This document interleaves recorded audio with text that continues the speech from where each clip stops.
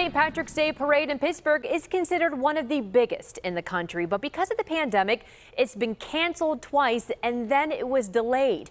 Well, this morning it finally took place. Some say it was certainly different to see Irish pride marching downtown in September, but thrilled to see a tradition continue.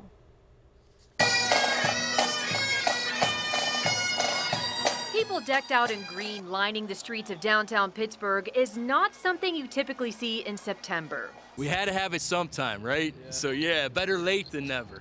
Visibly smaller than in years past, people from Pittsburgh and other areas weren't too surprised that Saturday morning's St. Patrick's Day parade wasn't what it usually is.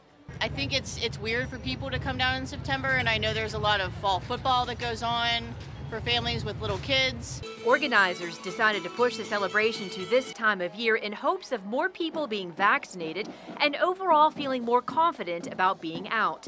And although there were no large crowds this time around,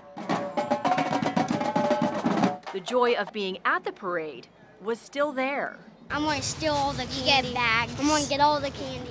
The weather's beautiful, right? Shorts. Usually don't get this in March. the parade started around 10 in the morning and included marching bands, Irish dance teams, along with local police and fire departments.